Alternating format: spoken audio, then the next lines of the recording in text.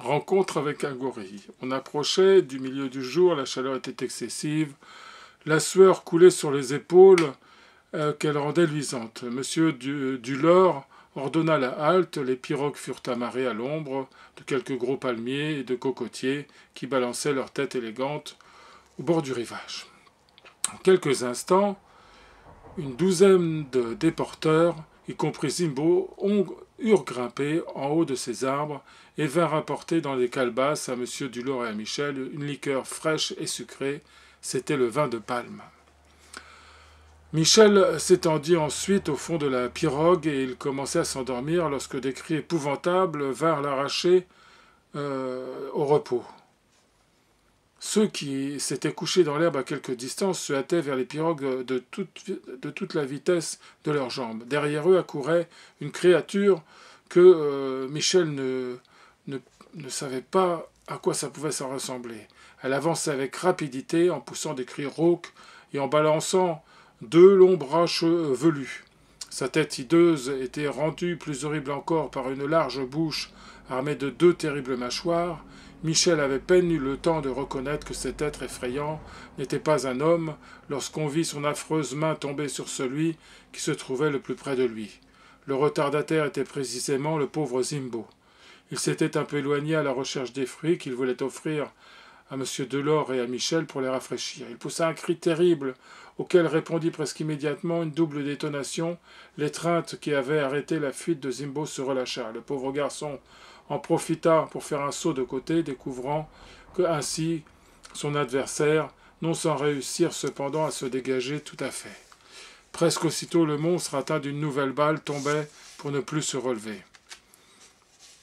Un des projectiles qui l'avait frappé lui avait était adressé par Michel. En voyant le danger couru par son ami, le jeune garçon s'était emparé d'un fusil qui se trouvait sous sa main. Monsieur Dulor en avait apprêté deux pour tirer les oiseaux aquatiques qui pullulaient sur la rivière. C'était la première fois que Michel se servait de pareille arme, mais l'amitié, sans doute, avait tenu lieu de pratique et avait dirigé sa main.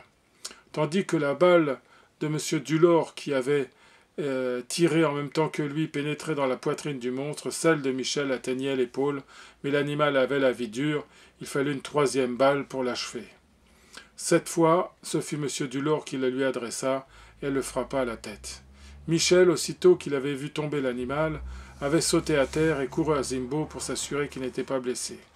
S'il avait conçu des inquiétudes, elles eussent été bien vite dissipées par l'éclat de rire triomphant que poussa Zimbo quand il se vit délivré de son ennemi. Il s'élança euh, au devant de Michel en exprimant sa joie par des gambades. Néanmoins, M. Dulor voulut examiner son épaule. Elle n'était que légèrement écorchée. Le négociant y appliqua une compresse d'eau féniquée, précaution que l'extrême chaleur rendait nécessaire. L'être monstrueux qui s'était attaqué au pauvre Zimbo était un gorille, sorte de singe très féroce, de taille colossale et d'une force extraordinaire.